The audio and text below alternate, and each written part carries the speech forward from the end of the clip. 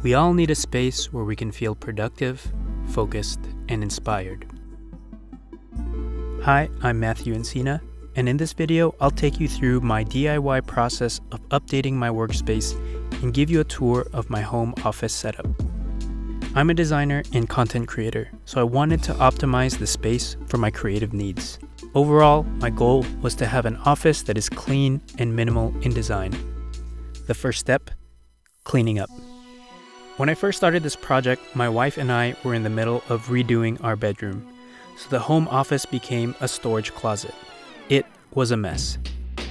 Boxes everywhere, lots of old stuff we've been hoarding for years, and just way too many computers and devices.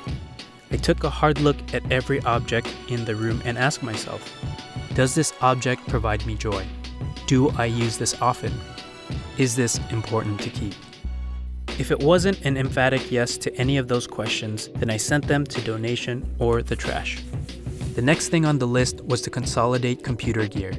Between my wife and I, we had too many machines and devices. Many were legacy computers we held onto since our school days, so I wiped what we weren't using and sold them. Once the space was clean, I wanted to update the accent wall so the space had more contrast. I chose a dark gray with a slightly cool tint to it. I used the paint with a matte finish to keep the appearance soft. Next on the list was the foundation of my workspace, the desk. I wanted a big long desk made of solid wood. I looked at many tabletop options but ended up getting an oak kitchen countertop from IKEA. For the base, I used a pair of Alex drawers, also from IKEA, which I already had from my previous setup. Because it was solid wood, it was pretty heavy and difficult to move around.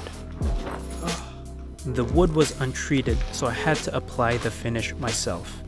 A note here, don't make the same mistake I did and put your hot coffee on untreated wood. That's a big no-no. To fix that moisture damage I had caused and prep the surface for finish, I sanded down the wood. I started with a coarse 120 grit sandpaper and finished off with a 320 fine grit. After researching the different wood finish options between lacquers and oils, I ended up going with a Danish oil finish. This provided a good balance of the natural earthy look of an oil finish while offering the moisture protection of lacquer. I wiped on two coats of the Danish oil and let it dry overnight. The next day, it still felt a little sticky and was a little too shiny for my taste. So I wiped it down with a little bit of linseed oil and sanded down the top layer with my 320 grit sandpaper. This left my desk incredibly smooth to the touch. beautiful table. With my desk finally prepped, I was ready to set up my hardware. I work on both Mac and PC, I use my MacBook for everyday tasks like browsing, writing, and designing, while I use my PC for heavy tasks like 3D rendering. Previously, I had two separate desk setups for these, and now I had to figure out a smart way to incorporate both into a single desk. I used to have a mechanical keyboard and a wired mouse, but it was cumbersome to switch back and forth between devices. So after a lot of research, I found the Logitech Craft keyboard and the Master MX2S mouse was the best solution for my situation. With the touch of a button, I can easily click through and control each device.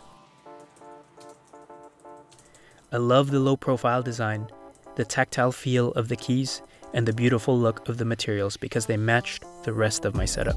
Also, the ergonomics of the keyboard and mouse are amazing. Underneath that, I'm using a felt pad as a soft surface for my hands and my devices to sit on. It also serves as a visual anchor to break up my desk. For my monitor, I'm using an ultra-wide display from Dell. In the past, I've used a dual monitor setup, but I prefer having one big screen with lots of real estate for all of my windows.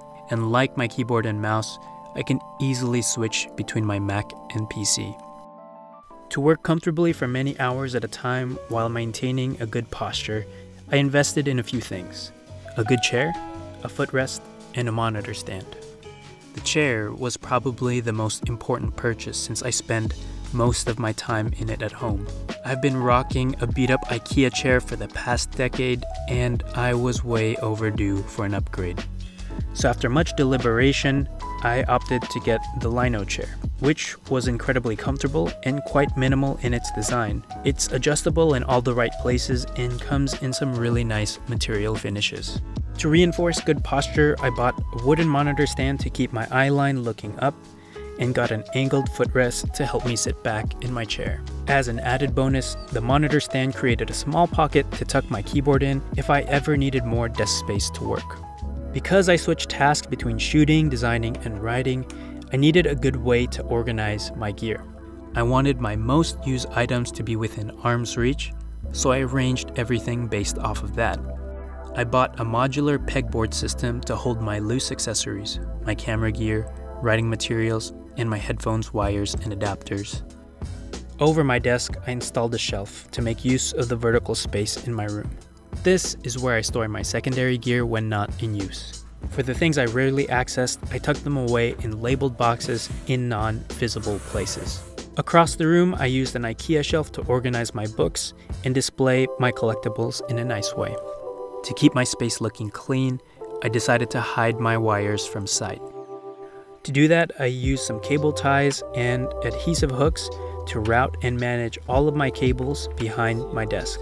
For the things that would rarely be unplugged, like my monitor and PC, I tucked a power strip on the floor beneath my desk.